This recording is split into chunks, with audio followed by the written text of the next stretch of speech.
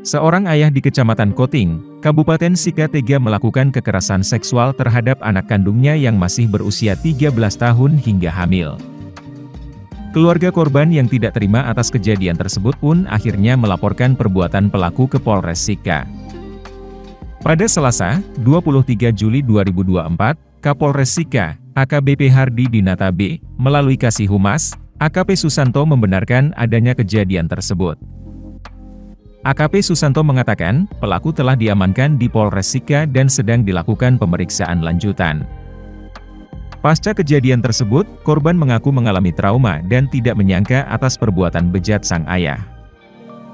Ia menjelaskan, kejadiannya terjadi pada Maret 2024 lalu dan baru ketahui keluarga karena korban berbadan dua.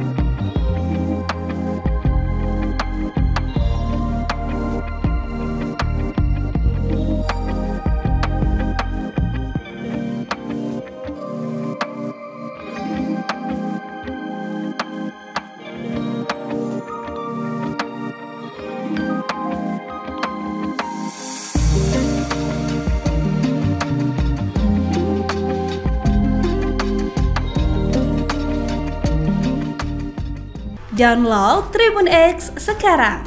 Menghadirkan lokal menjadi Indonesia.